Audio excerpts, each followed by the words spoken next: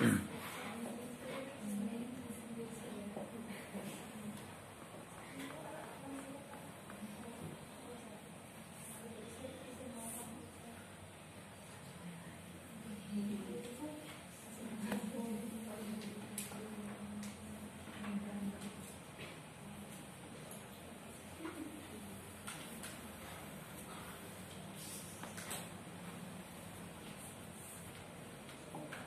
Assalamualaikum warahmatullahi wabarakatuh. Waalaikumsalam warahmatullahi wabarakatuh. Yang pertama ya ini ya. Mas pagi-pagi kenapa lemas? Belum sarapan?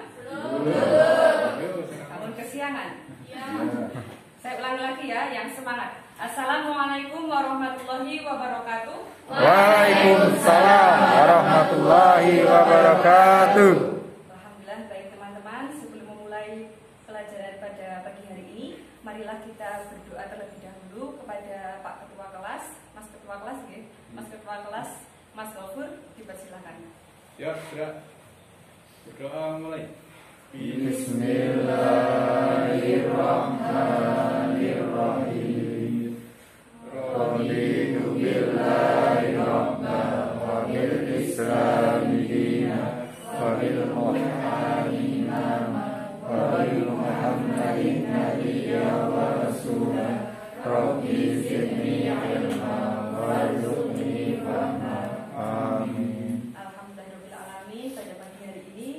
Kita masih diberi kesempatan untuk bertatap muka, kita masih diberi kesehatan dan kita masih diberi kelancaran untuk mencari ilmu. Baik. Amin. Teman-teman, siapa yang tidak masuk hari ini? Nihil. Ini Alhamdulillah kelas IPAC selalu the best. Tepuk tangan. tepuk tangan. Baik teman-teman, eh, bagaimana kabar teman-teman hari ini? Semangat. Kalau belum sarapan itu susah ya, sangat susah. Bagaimana kabar teman? Alhamdulillah, ya Allah. Yang semangat ya. Bagaimana kabar teman-teman? Alhamdulillah. Itu ke- kelihatan sudah makan meskipun belum. Seperti wajah yang kelihatannya bahagia, tetapi sebenarnya ya sebenarnya halo. Halo bisa sendiri ya. Oke, baik teman-teman. Minggu lalu kita mempelajari aku selalu dekat dengan Allah. Bagaimana kita dekat dengan Allah itu selalu menunjukkan aura positif. Positif thinking di apa? Di disambi atau disambi itu di apa ya? Dikaitkan dengan sikap yang positif. Ketika kita selalu dekat dengan Allah, maka kita akan merasa takut, kita akan merasa terjaga. Kalau aku misalkan melirik kamu, kira-kira kalau aku selalu dekat dengan Allah, berani nggak? Enggak. Enggak. Kalau aku selalu dekat dengan Allah, aku mau mencontek dari yang bagus, kira berani nggak? Enggak. Coba teman-teman sebutkan sikap positif yang kita lakukan apabila kita selalu eh, di hati kuat prinsip kita, kita selalu dekat dengan Allah. Sikap apa saja? Sholat rajin. rajin ibadah, apalagi Jujur. jujur, Tidak apa? maksiat. Tidak maksiat, nah itu pasti. Ya, tidak apa? Tidak gibah. Itu sedikit persen lah kalau saya. ya, teman-teman. Jadi ketika kita takut dengan Allah, maka kita itu akan merasa diawasi. Kita akan merasa, wah, yang ibaratnya yang sunnah aja kita akan terus melakukan, terus melakukan. Yang haram berarti kita jauhi. Yang wajib berarti harus kita Lakukan. Nah, seperti pada kesempatan pagi ini kita berbusana. Berbusana itu diatur dalam agama kita, agama Islam, ya enggak? Kalau tidak diatur, bebas. Seperti yang sudah kita lihat saat ini ya. Jadi ka- ketika kita sudah dekat dengan Allah, maka kita akan menjalankan kewajibannya. Kewajibannya itu apa? Berpakaian sesuai syariat Islam. Islam. Nah, pada kesempatan kali ini kita akan membahas materi tersebut.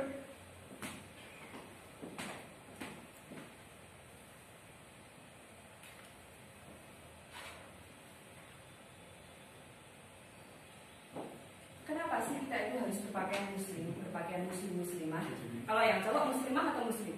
Muslim. Muslim. Oke teman-teman. Sebelum kita memasuki materi, nanti dalam pelajaran kali ini kita ada beberapa poin yang harus harus teman-teman pahami. Yang pertama, Mbak yang paling ujung pojok di pojok di sana kelihatan tulisan saya, indah ya, Mas. Kelihatannya mana? Sip, Ya, kelihatan ya? Yang pertama adalah perintah. Tulisan saya itu terlalu bagus, makanya saya itu jarang menulis. perintah, perintah apa? Memakai busana muslim muslimah yang sesuai syariat. Itu poin pertama yang harus kita pahami hari ini. Terus yang kedua, yang kedua eh, aurat.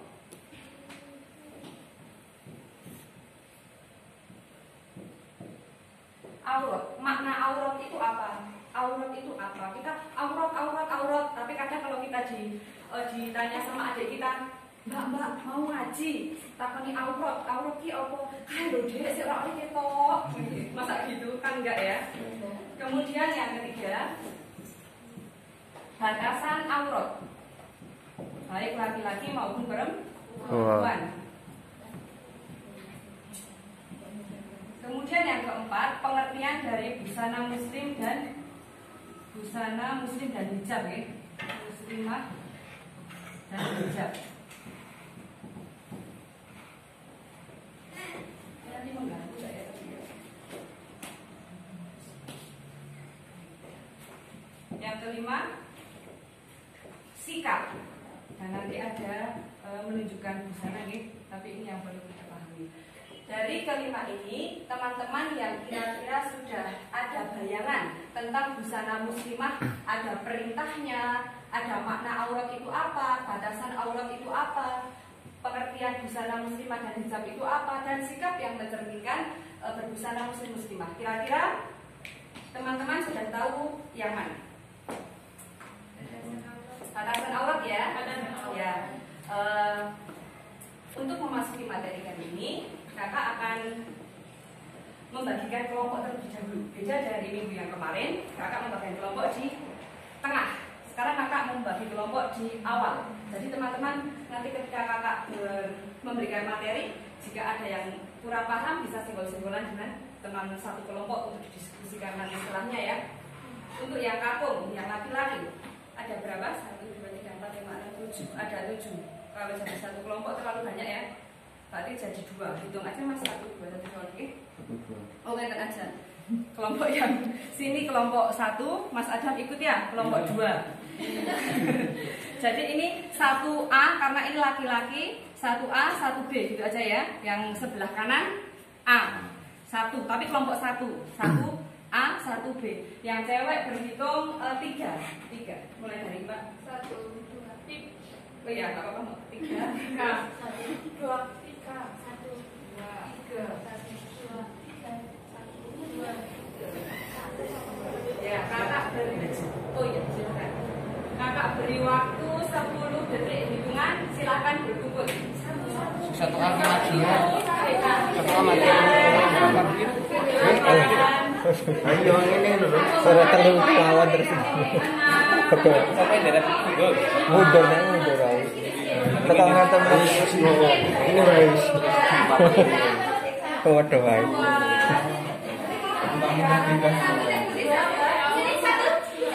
Bu, nanti ngomong apa Isa? Enak ya.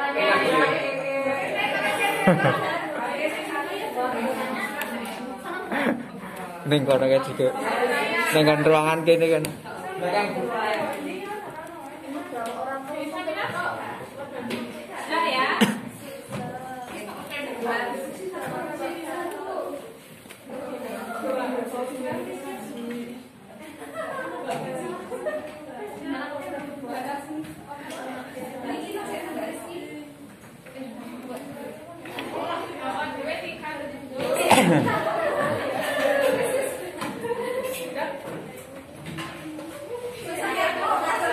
Iya, susah ya. Nggak apa-apa, pelan-pelan ya. Wis ora. Oke. Kelompok tiga, kelompok empat, ya sudah paham ya. Ulangi lambaikan tangan dan teriak ah gitu ya. Kelompok satu, Ah.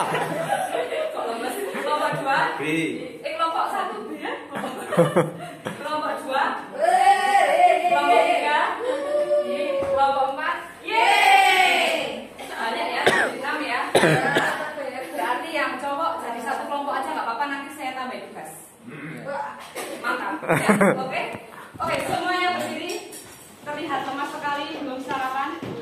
Seperti minggu lalu kakak sudah mengajarkan tepuk sukses. Masih ingat? Hei. Tepuk sukses, teret, saya, teret, harus, teret, sukses, teret, yes. Yesnya boleh sambil jongklek, boleh, boleh mau gimana pokoknya. Yesnya itu kita kita optimis kita akan sukses. Oke, mulai. Tepuk sukses.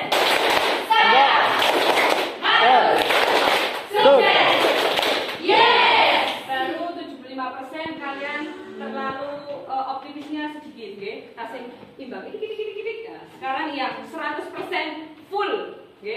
Kita yakin kita akan apa? Sukses. Ah. Baik, siap? Siap. Tepuk sukses. Saya harus sukses.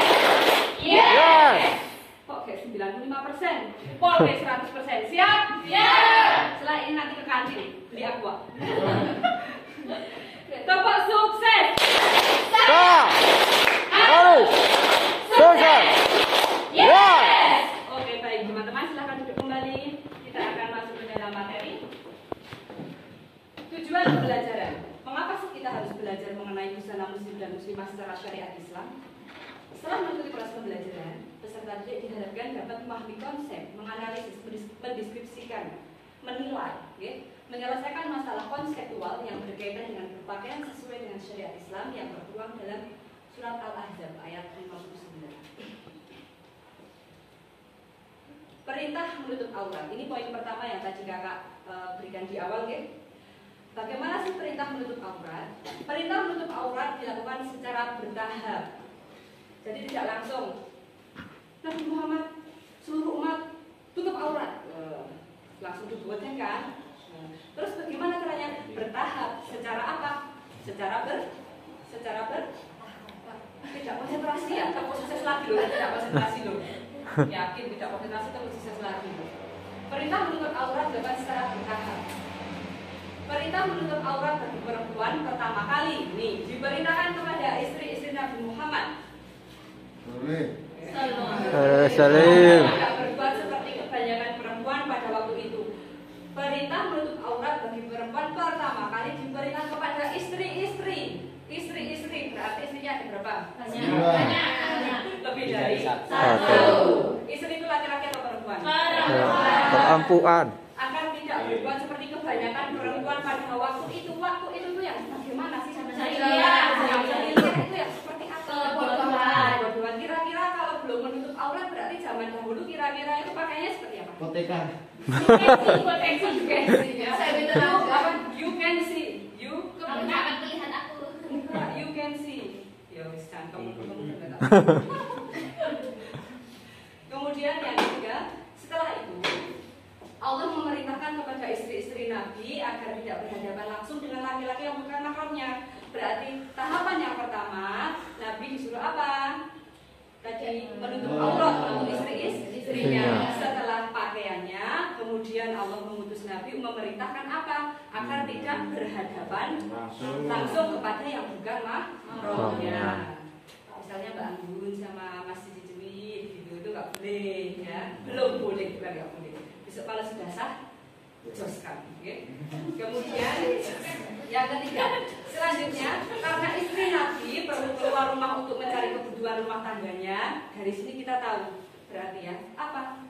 Berarti ke zaman bahula biyen niko kita jadi yang ada di sini ternyata yang kode wedok itu yang boleh butuhan butuhannya itu apa ya mungkin buat masak buat makan ya maka Allah memerintahkan mereka agar menutup aurat apabila keluar rumah. Berarti yang pertama menutup aurat busananya yang kedua apa? Tidak berhadapan. tidak berhadapan. Kemudian yang ketiga saat keluar rumah harus menutup aurat. bisa dipahami ya? Perintah menutup aurat. Kita baca ya, ditirukan dulu. Mungkin nanti karena ini anak banyak, biasanya nanti suka tanafus di tengah-tengah itu. Meskipun saya bacanya agak merdu sedikit nggak apa-apa ya. A'udzu billahi minasyaitonir rajim. Ditirukan saya. Ditirukan ya.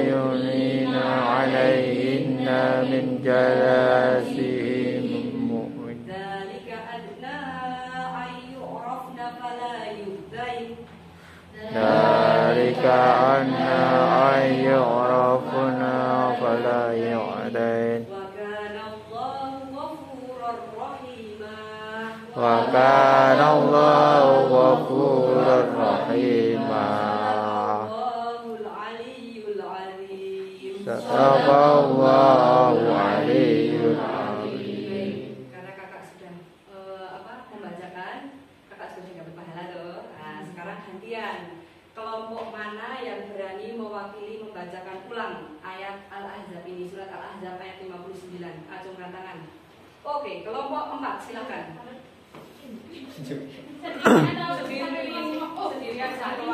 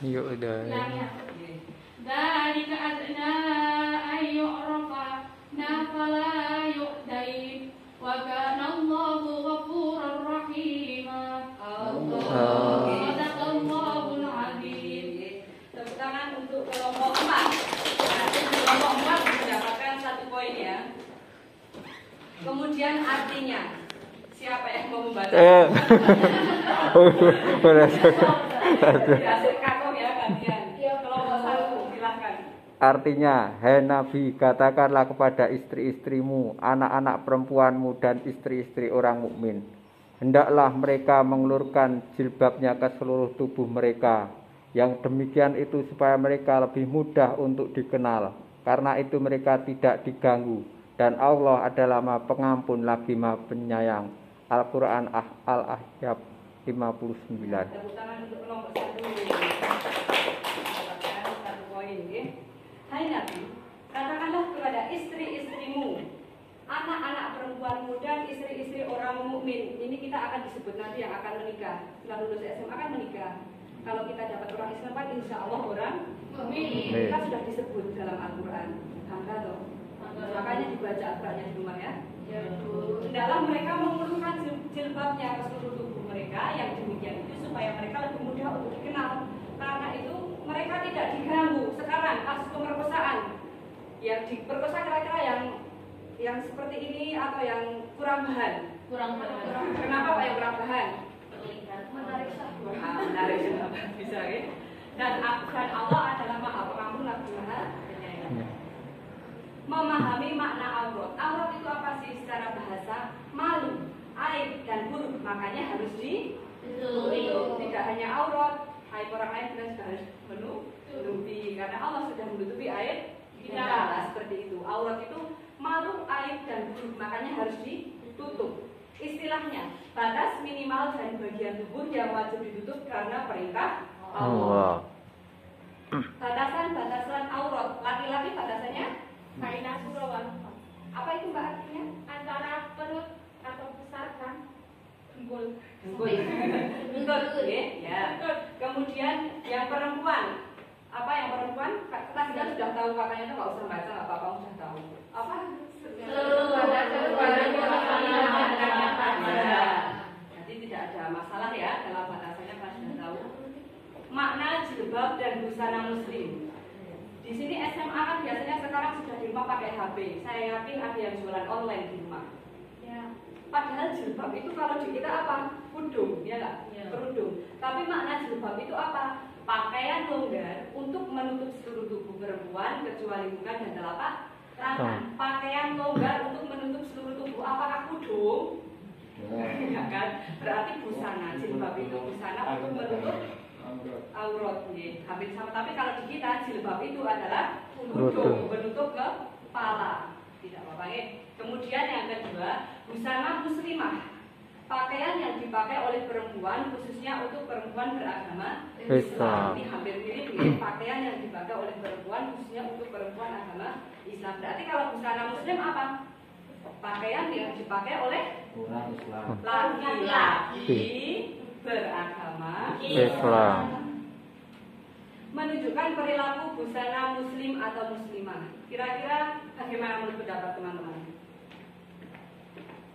Salam. Untuk aja. Bagus yang sebelah kiri atau sebelah kanan? Kiri. Kanan. Kanan. Kalau yang ini. Yang kanan biasanya teman-teman kan. Kanan ini apa? Ini sudah menutup kainnya tidak kekurangan bahan, tetapi apa? Mendelot. Ya toh, ini mendelot, mendelot, mendelot. Nah ini, ini yang harus kita cermati. Ini adalah tren saat ini, ya, tren saat ini.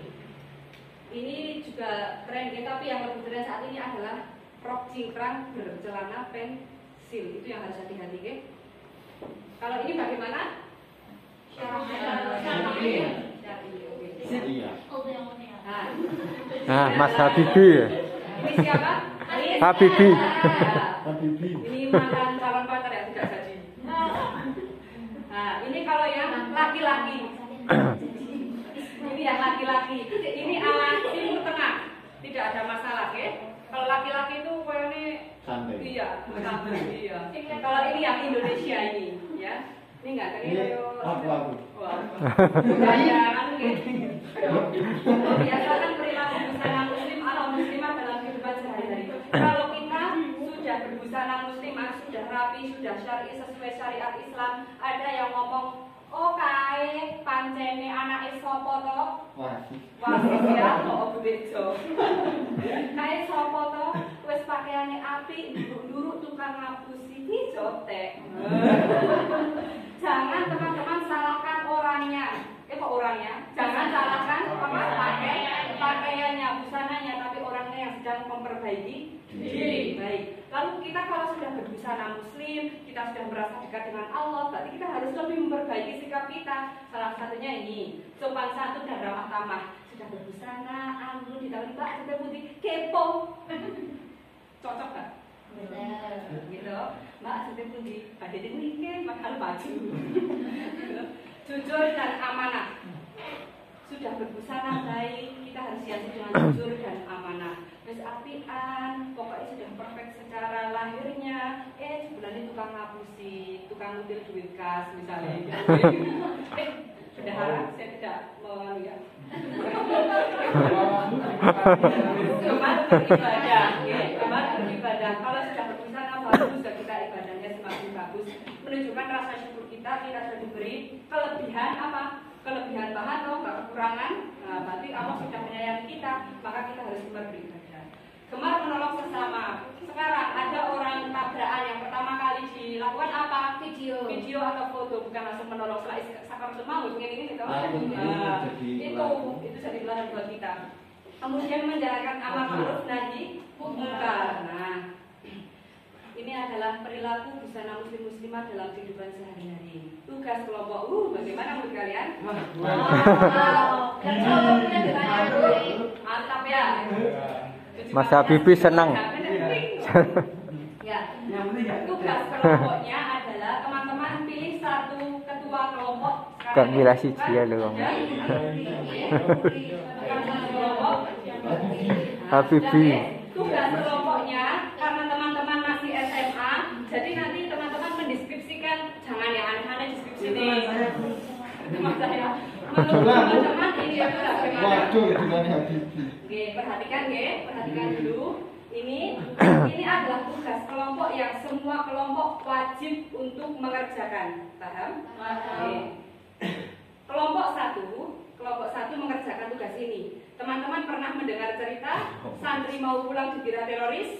Nah, Karena sarung kuelnya Pernah. Ini nanti teman-teman coba eh, diskusikan dengan teman-teman se apa?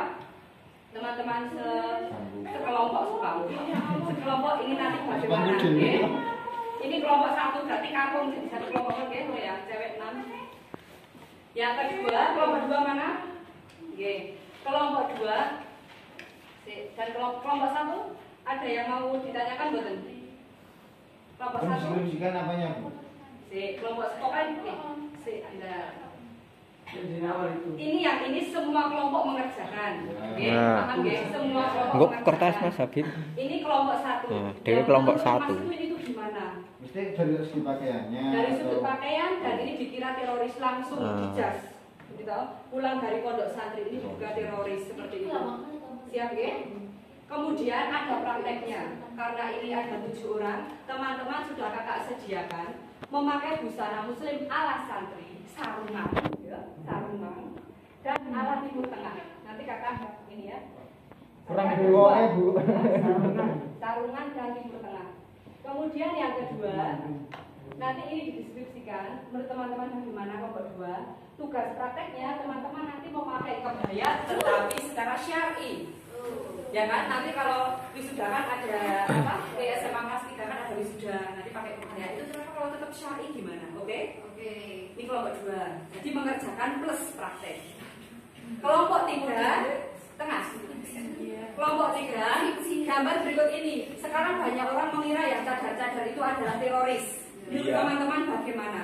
Tugas prakteknya, teman-teman nanti akan mempraktekkan busana muslim di tengah. Pakai di terlalu bu Ya. terlalu Bu. terlalu sapi terlalu syar'i, tapi kita coba untuk berkreasi untuk semuanya. Kok ya. terlalu salah. Yang keempat, ini adalah baru-baru ini kakak menemukan di TikTok. Ini tugas kelompok empat. Jadi pakaiannya itu dia menutup semua, cuma kulit, kelihatan kulitnya. Nah, seperti ini ini sebenarnya tertutup, tapi ini itu apa? Manset. Oh, kayak manset itu loh, tapi tipis gitu loh. Nah, itu menurut teman-teman gimana? Dan yang kelompok empat ini mendis apa nanti prakteknya menggunakan busana syar'i biasa, oke? Dan semuanya ini kan teman-teman pakai seragam SMA sekarang. Nanti salah satu juga harus praktek. Ini loh saya busana busana SMA itu yang yang sesuai syarat seperti ini, gitu kan? Oke siap? Kelompok setiap kepala kelompok silakan maju. Eh, Habib. Kepala itu.